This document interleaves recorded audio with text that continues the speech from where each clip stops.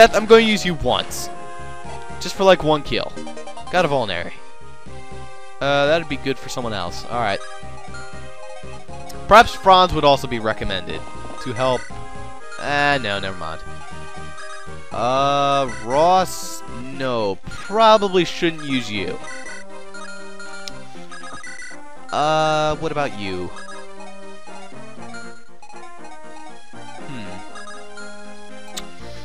It would be best to do... Okay, perfect. Alright, Gilliam, can you do... Damn it! He is one damage point off. Come on! Uh, how am I gonna work this out? Give me a second.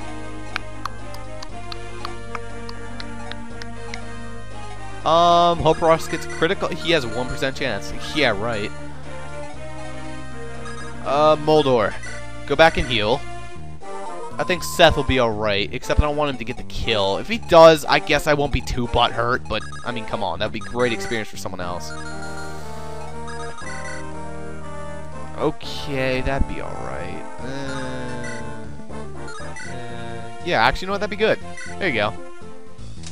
And then I'll have Gilliam take care of the archer. There we go. Alright, that works out. And then Ross can take care of this guy. Just please don't miss, Ross. You have awesome luck. Thank you. That's a level up.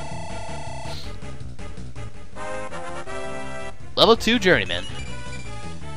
Uh, HP and luck. That was not the best level up. Hopefully Ross does not have too many more like those. That won't be good.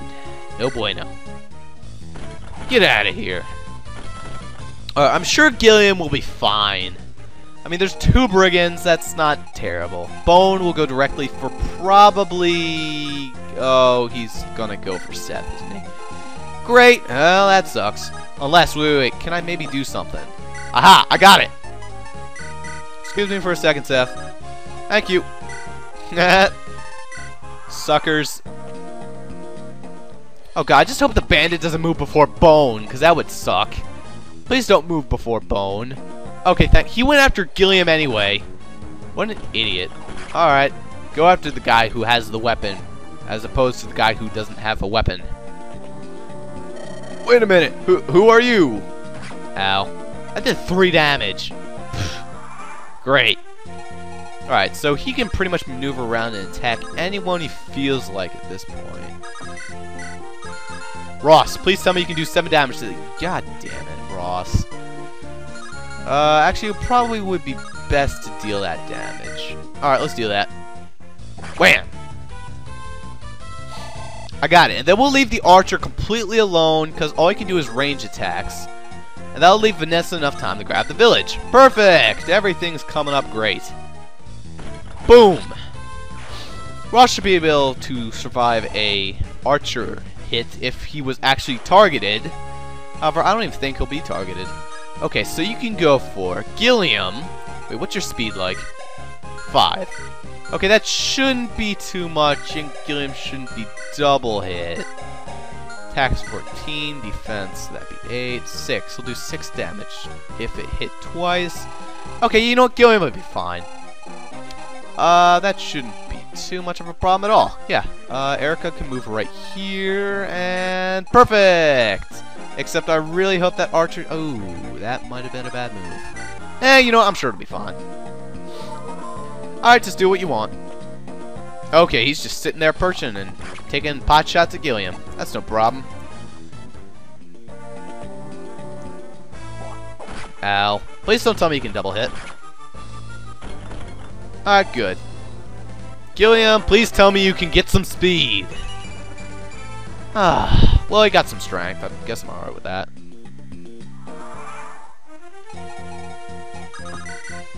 Uh, Ross, you can start working on the archer. Perfect! Everything came up brilliant. Alright, I don't even care about that conversation. He just talks about how pure water helps or something like that. I don't know. But, well, Seth, you can move your ass over here, and that is the end of you, Bone. Damn it. There you go. Ugh, blast. There you go. Eirika has defeated Bone. And Ross, you get to take care of the archer. Wham! Uh, oh yeah, we should probably buy some weapons too. I really wish there was a slim axe, but there isn't. So instead, I'll just take a slim sword. No, I don't want another one. Uh, slim lance might be preferable soon. You know, I'll buy one. Send it to storage. Uh, let's buy an iron sword and an iron axe. Alright. I don't have anything to sell. Uh, that's Seth who has the thing to sell, right? Alright.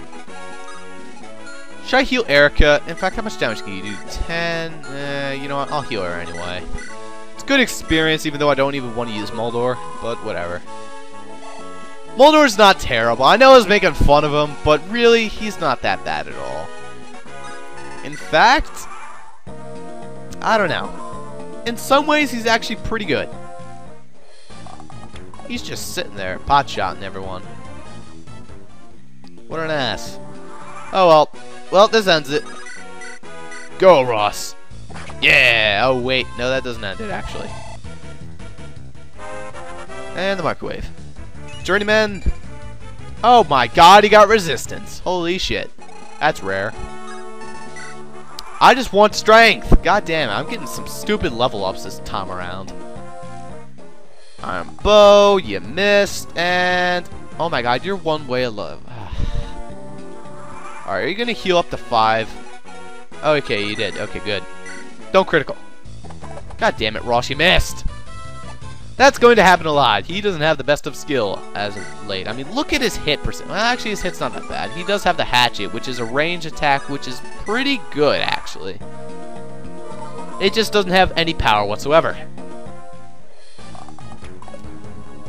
Alright, there's a level up for Eirika. Alright, yeah, there you go. There's the great level up. And for funny factor, I didn't even get speed. Huh? Your resistance is 5. Holy shit. That is really weird. I don't ever remember getting that much resistance. Give me that red gem. I'm going to go trade that in. Uh, let's trade here. Red gem, take a slim sword. Alright, I'll trade that next turn. I really want to give Ross the goddamn kill, but he keeps missing. Oh boy. Can you do like more than his 8? Yeah, you can definitely do more than his HP and damage. I'm kind of surprised he doesn't move off the fortress and attacks Moulder. I guess he just really wants to heal. I don't know. Plus it gives him good, like, range defense, I guess. I don't know. There you go, Ross. Get up your good skill. Holy shit, that gave a lot of experience. I'll eventually take down his health. Perhaps the speed up should be uh, put into place. Except I can't speed it up, can I?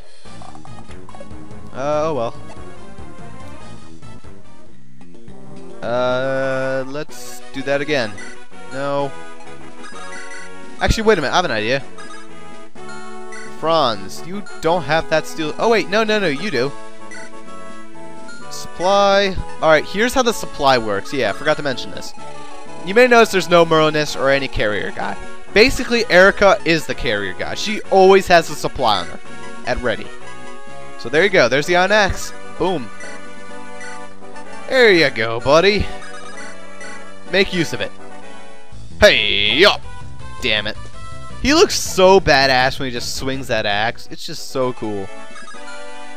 I love Ross. Ross is definitely my favorite unit in this game. No lie.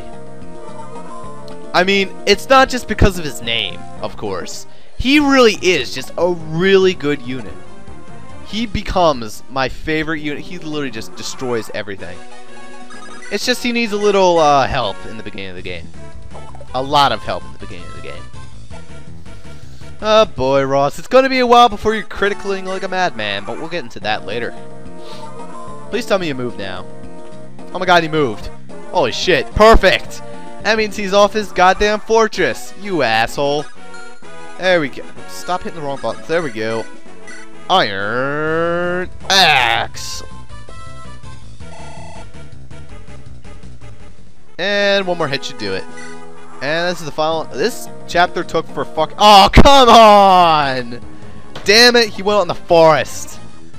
Well, it doesn't have as much avoid as, you know, the fortress. Actually, I think it has the same amount of avoid.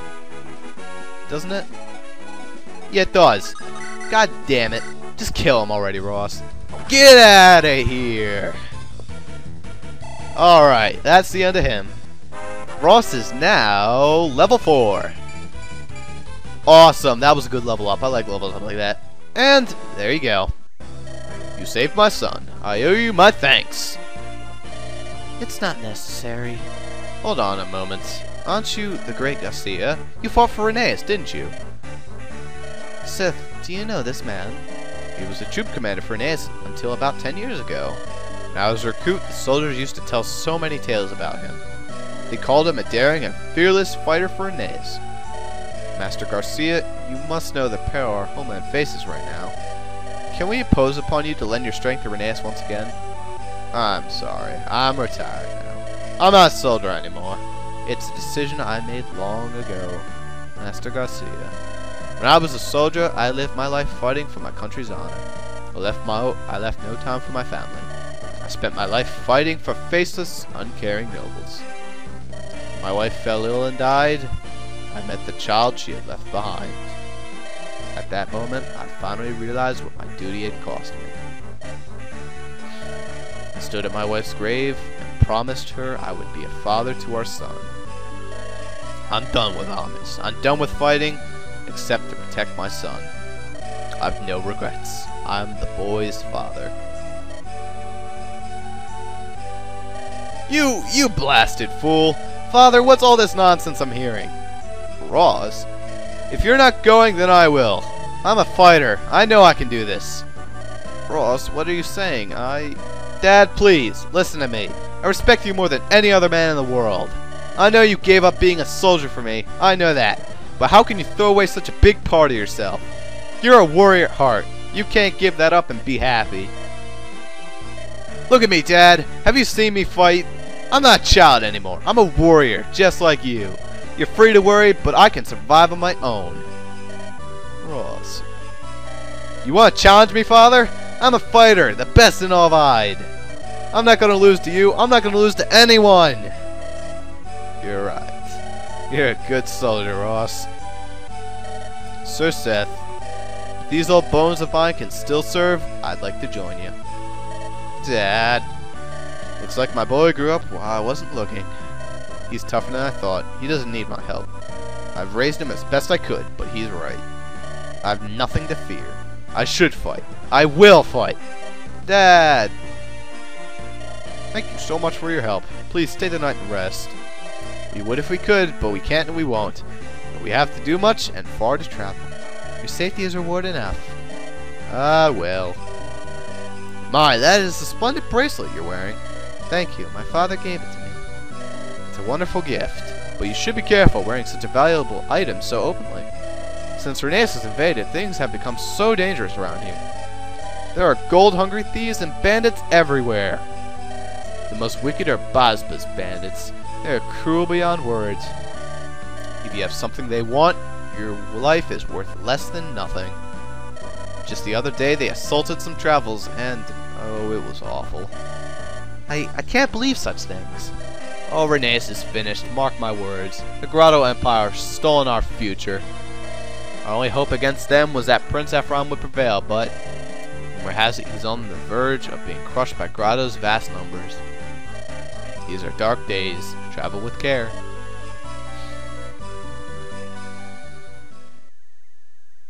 Ephraim.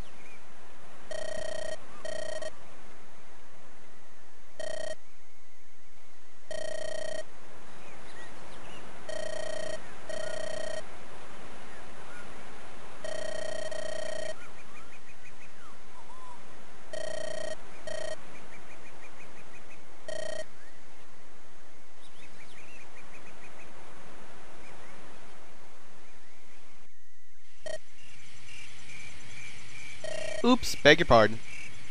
Hey! Princess, are you alright? yeah, someone bumped into me was all. I was jarred. Hmm? Your Highness, where's your bracelet? My bracelet? It's gone. Where could it be? Did that man... I'll find him. Don't worry about it, Seth. That bracelet was a gift from my father. Ephraim needs our help. I can't let sentimentality get into the way of my duty. No, Princess, we must retrieve your bracelet at all costs, regardless.